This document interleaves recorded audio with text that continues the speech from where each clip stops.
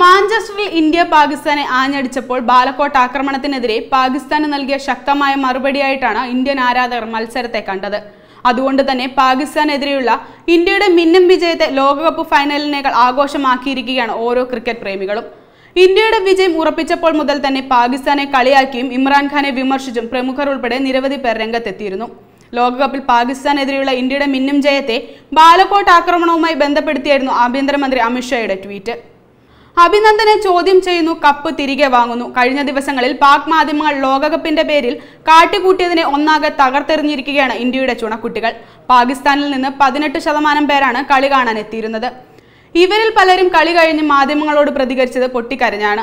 ഈ ചിത്രങ്ങൾ ഏറ്റെടുത്ത ഇന്ത്യൻ ക്രിക്കറ്റ് പ്രേമികൾ കഴിഞ്ഞ ദിവസം മാഞ്ചസ്റ്ററിൽ ഒഴുകിയത് മഴവെള്ളമല്ലെന്നും പാക് ക്രിക്കറ്റ് പ്രേമികളുടെ കണ്ണീരാണെന്നും കമന്റ് നൽകി. പുൽവാമ ഭീകരാക്രമണത്തിന് ശേഷം നടന്ന മത്സരം എന്ന നിലയിൽ കഴിഞ്ഞ ദിവസം നടന്ന ഇന്ത്യ പാക് മത്സരം ഇരു രാജ്യങ്ങളിലെയും ക്രിക്കറ്റ് പ്രേമികൾക്ക് ഏറെ നിർണായകമായി. ദിവസങ്ങൾക്ക് മുൻപാണ് പാകിസ്ഥാനിലെ Jazz T V World Cup പരസ്യം എന്ന നിലയിൽ ഇന്ത്യയുടെ വിംഗ് കമാൻഡർ അഭിനന്ദ് വർദ്ധമാനെ പരിഹസിക്കുന്ന വീഡിയോയും പുറത്തുവിട്ടത്. ഇതോടെ വീറും വാശിയും ഇരട്ടിയായി. ഒടുവിൽ കഴിഞ്ഞ ദിവസം രാത്രി ഒന്നുകൂടി ഉറപ്പിച്ചു. ടീം ഇന്ത്യയെ വെല്ലാൻ ആയിട്ടില്ല പാകിസ്ഥാനെ എന്ന് വെബ് ഡെസ്ക് തത്തുമൈ ന്യൂസ്. കൂടുതൽ വാർത്തകൾക്കും വിശേഷങ്ങൾക്കുമായി ഞങ്ങളുടെ യൂട്യൂബ് ചാനൽ സബ്സ്ക്രൈബ് ചെയ്യൂ. നോട്ടിഫിക്കേഷൻ ലഭിക്കാനായി താഴെ കാണുന്ന ബെൽ ബട്ടൺ ക്ലിക്ക് ചെയ്യൂ.